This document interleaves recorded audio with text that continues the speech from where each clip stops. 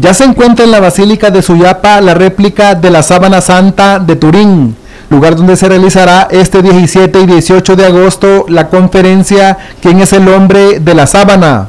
donde también se muestran las réplicas de otras reliquias santas. Con esta presencia de este icono, queremos verdaderamente que Él también libre nuestra Honduras del mal, del odio, de la confrontación inútil. Esta muestra está conformada también por 31 murales y videos en tercera dimensión y podrá ser apreciada totalmente gratis hasta el 27 de agosto. A más de 100 voluntarios que sin ninguna duda harán la experiencia del público asistente mucho más rica que impactará en ese sentimiento. Honduras se convierte en el cuarto país de Latinoamérica en contar con una réplica santa del manto de Turín.